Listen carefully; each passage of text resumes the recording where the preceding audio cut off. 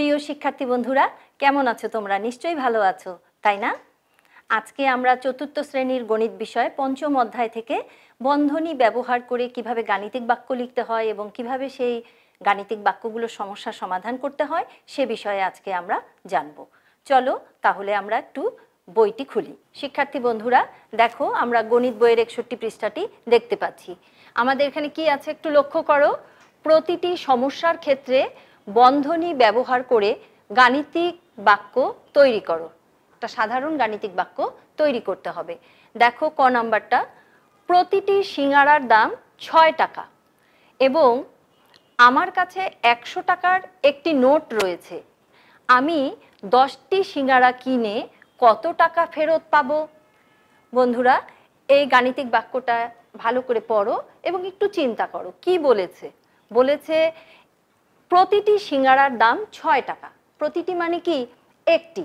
একটি সিঙ্গারার দাম কত? ছয় টাকা। এবং সেই সিঙ্গারার দাম কিন্তু আমার দিতে হবে, আমার কাছে যে একশো টাকা আছে সেখান থেকে। তাহলে দেখো এখানে বিয়োগ চিহ্ন আছে এবং এখানে গুণ চিহ্ন আছে। আর এই যে দুই পাশে এটা দেখতে পাচ্ছ, এটাই তো বন্ধনী, তোমরা এর আগেও জেনেছো এটা। তাহলে আমার কাছে যে একশো টাকা আছে, তাহলে এটা কোন ঘরে বসবে? একটু চিন্তা করো তো। হ্যাঁ এই প্রথম ঘরে বসবে। কারণ সেখান থেকেই আমার কিন্তু সিঙ্গারার দামটা দিতে হবে। তাহলে চলো আমরা দেখি কোথায় এটা লিখতে হবে। আমার কাছে আছে কত? একশো টাকা। তাহলে আমাদের একশো হবে কোথায়? এই ঘরে একশো সংখ্যাটি বসবে। এবার দেখো, বলেছে প্রতিটি সিঙ্গারার দাম ছয় টাকা। তাহলে একটি সিঙ্গারার দাম ছয় টাকা। তাহলে আমরা প্রথম ঘরে সিঙ্গারার, একটি সিঙ্গারার দাম লিখছি। এবং আমি সিঙ্গারা কিনবো কয়টি? দশটি। তাহলে ছয় টাকা দামে সিঙ্গারা আমি কিনবো কয়টি? দশটি। তাহলে দেখো আমাদের এই যে এই বাক্যটি সাধারণ একটা গাণিতিক বাক্য হয়ে গেল। আমরা পরবর্তীতে গুণ এবং বিয়োগের কাজ করে এই গাণিতিক সমস্যাটির সমাধান কিন্তু করব। এবার চলো খ নম্বরের দিকে আমরা একটু লক্ষ্য করি। কি বলেছে দেখো? একটি ইলিশ মাছের দাম তিনশো টাকা। একটি ইলিশ মাছের দাম তিনশো টাকা। এবং এক জোড়া কবুতরের দাম দুশো টাকা। কি বলেছে? এক জোড়া কবুতর। জোড়া মানে কি বন্ধুরা? হ্যাঁ ঠিক ধরেছো। দুটি মিলে হয় এক জোড়া। তাহলে এক জোড়া কবুতরের দাম দুইশো টাকা। একটি ইলিশ মাছ এবং একটি কবুতর কিনলে আমার মোট কত খরচ হবে? তাহলে আমার কি কিনতে হবে? কিনতে হবে একটি ইলিশ মাছ আর কিনতে হবে একটি কবুতর। কিন্তু এখানে আমাদের একটি ইলিশ মাছের দাম কিন্তু দেওয়া আছে।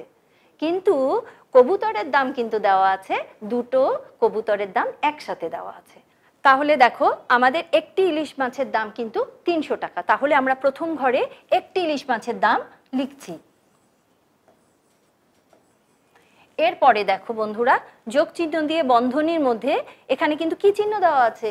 ভাগ চিহ্ন। কেন বলো তো? এই যে এক জোড়া কবুতরের দাম দেওয়া আছে, সেখান থেকে আমার বের করতে হবে একটি কবুতরের দাম।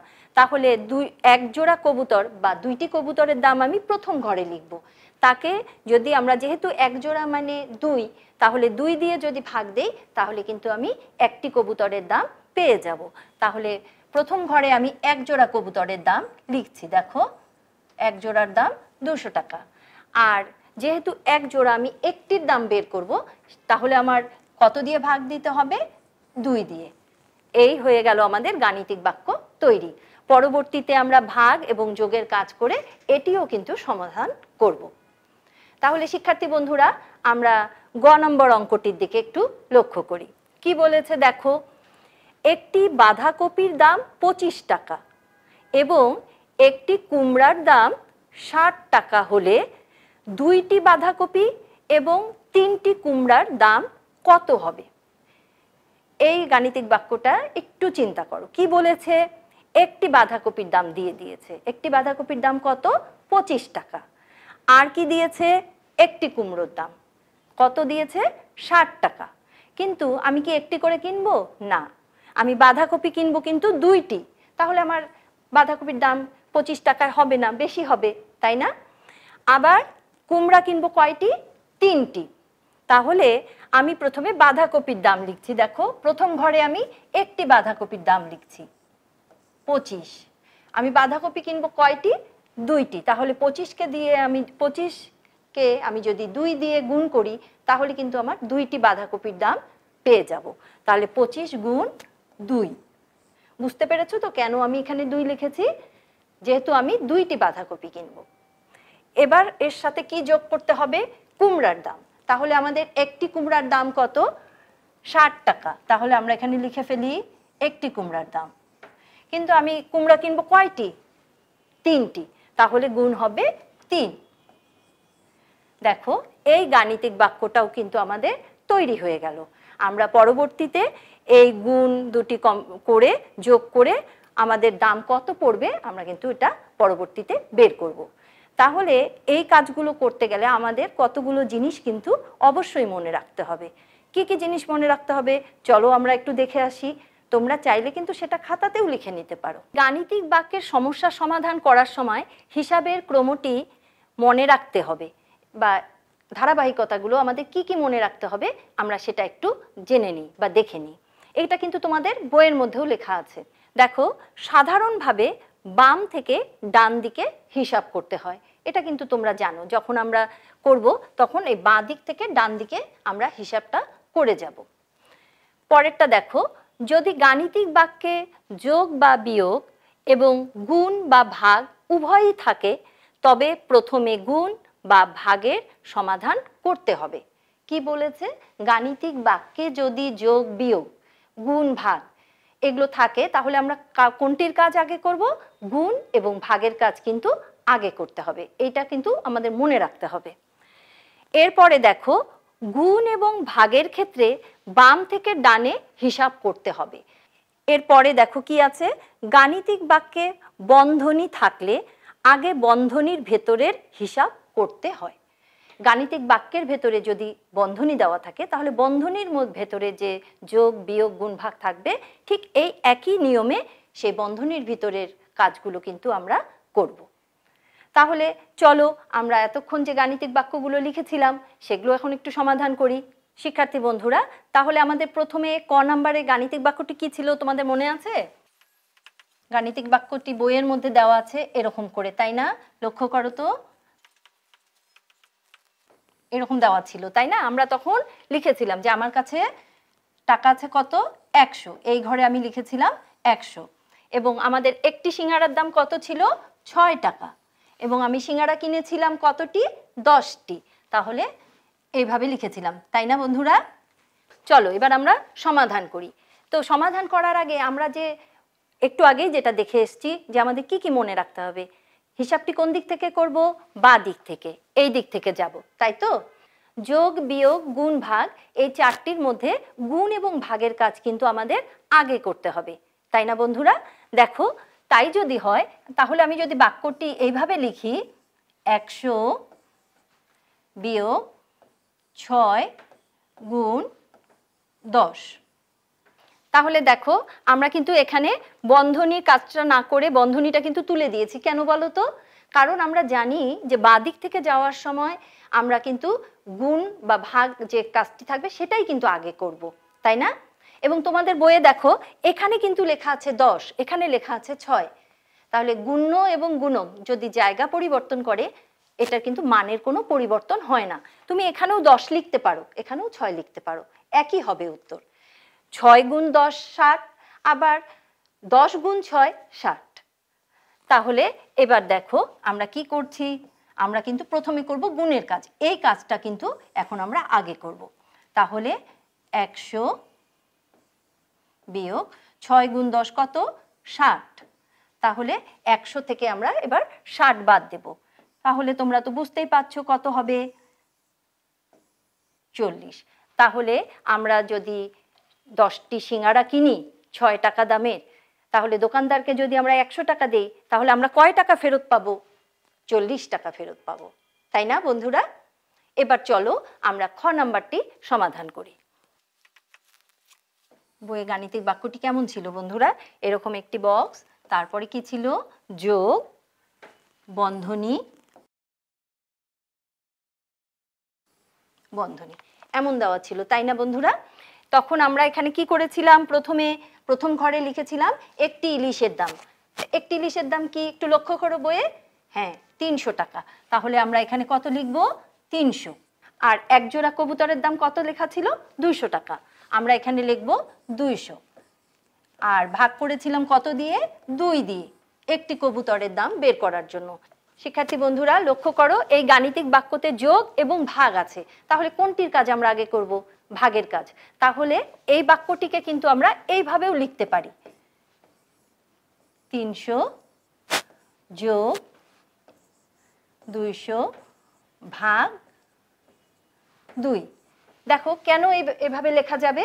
কারণ এখানে যোগ আর ভাগের মধ্যে বন্ধনী না থাকলেও কিন্তু আমরা ভাগের কাজটাই আগে করব। তাহলে আমরা লিখছি তিনশো যোগ দুইশোকে দুই দিয়ে ভাগ করলে কত হবে উত্তর?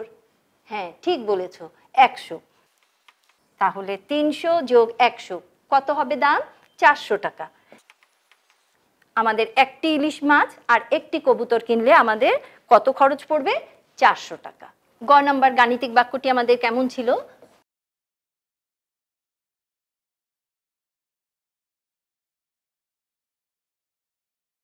এমন ছিল, তাই না বন্ধুরা? তখন আমরা কি করেছিলাম? এখানে লিখেছিলাম, একটি বাঁধাকপির দাম কত ছিল? পঁচিশ টাকা। আমরা বাঁধাকপি কিনেছিলাম কয়টি? দুইটি। তাহলে দুই দিয়ে গুণ করেছিলাম, তাই না বন্ধুরা? এরপরে কি ছিল? কুমড়ো।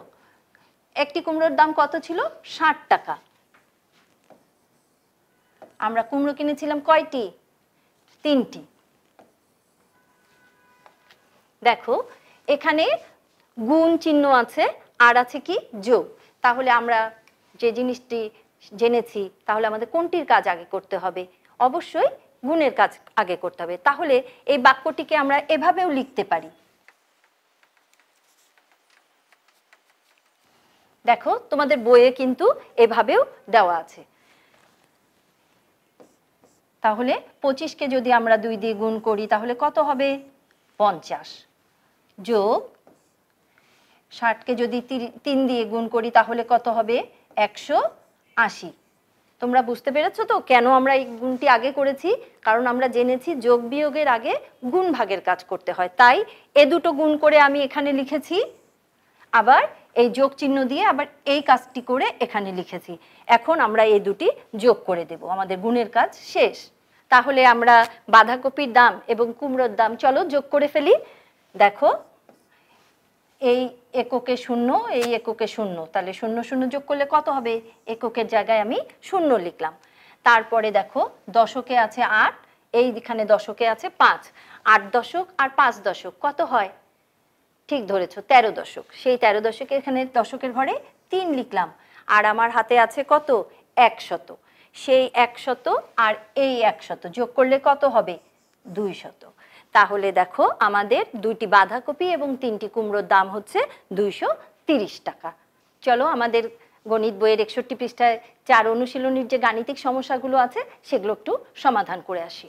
এখানে যে যোগ এবং গুণ আছে, কোনটির কাজ আগে করব আমরা? হ্যাঁ ঠিক বলেছ। আমরা আগেই জেনেছি, যোগ বিয়োগের আগে আমরা গুণ ভাগের কাজ করব। তাহলে আমাদের এই বাক্যে কি আছে? গুণ আছে। তাহলে যোগের আগে কিন্তু আমরা গুণটা করব। তাহলে এইটুকুর কাজ আমরা কিন্তু প্রথম লাইনে করব। দেখো, ছয় যোগ পাঁচ বারো কত? পাঁচ বারো ষাট। তাহলে আমরা লিখলাম ষাট। তাহলে দেখো, এখানে ছয় যোগ ষাট। তাহলে ছয় যোগ ষাট কত হয়? ছেষট্টি।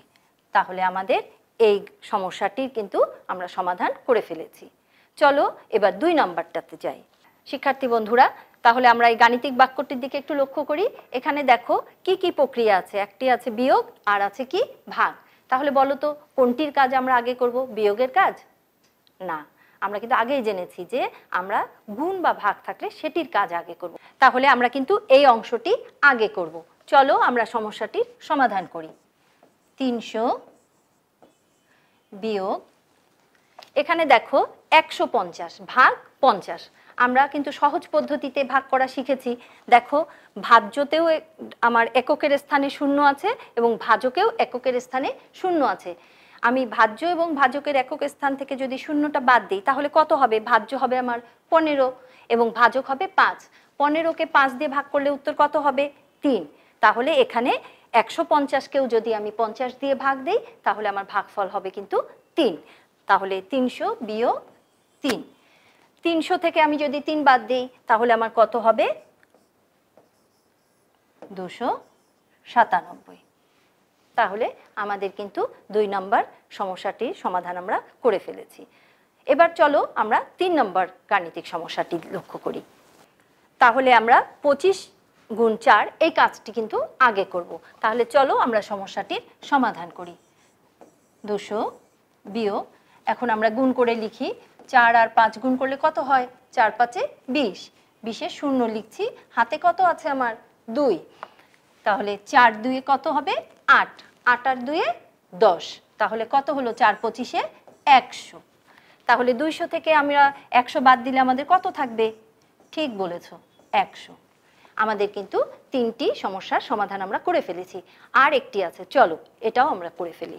এখানে আছে যোগ এবং ভাগ। আমরা অবশ্যই ভাগের কাজ আগে করব। তাহলে এইটুকের কাজ আমি কিন্তু প্রথমে করব। তাহলে দেখো, ষাট যোগ তিরিশকে ছয় দিয়ে ভাগ করলে কত হবে? হ্যাঁ ঠিক বলেছ, পাঁচ। তাহলে ষাট আর পাঁচে কত হচ্ছে? পঁয়ষট্টি। আমরা কিন্তু আমাদের একষট্টি পৃষ্ঠার যে গাণিতিক সমস্যাগুলো আছে, সবগুলো কিন্তু সমাধান করে ফেলে শিক্ষার্থী বন্ধুরা, তাহলে আজকে আমরা কি জানলাম?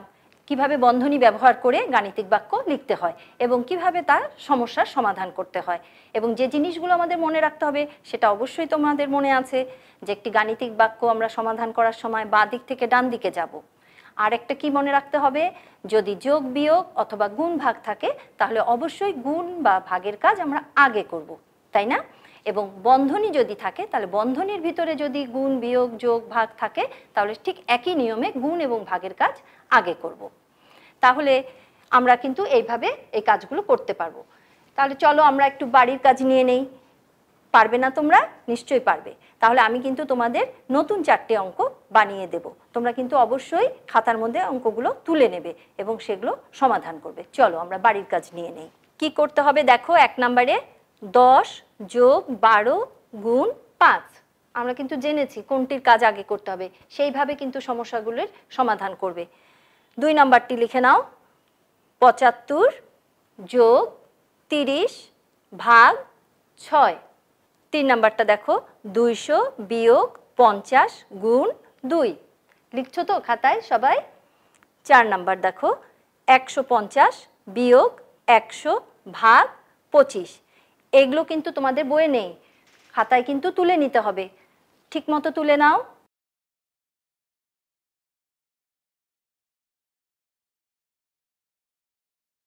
তাহলে শিক্ষার্থী বন্ধুরা, বাড়ির কাজগুলো নিশ্চয়ই তোমরা এতক্ষণ খাতায় তুলে নিয়েছো।